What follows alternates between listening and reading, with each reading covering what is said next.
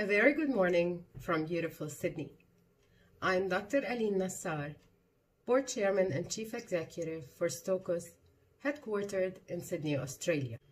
Stochos for Training and Development is specialized in emotionally intelligent organizational excellence and capacity building. We do it in different forms accredited diplomas, certifications, customized trainings, and coaching. Our team consists of certified emotional intelligence providers and trainers that skillfully delivers accredited courses and trainings. We operate both nationally and internationally, and we possess objective experience training executives and professionals from over 40 different nationalities.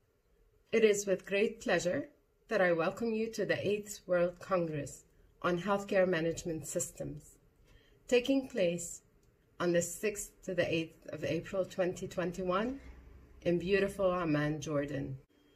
This Congress is prepared and hosted by the UCG, who organize exhibitions and online events with world-class speakers.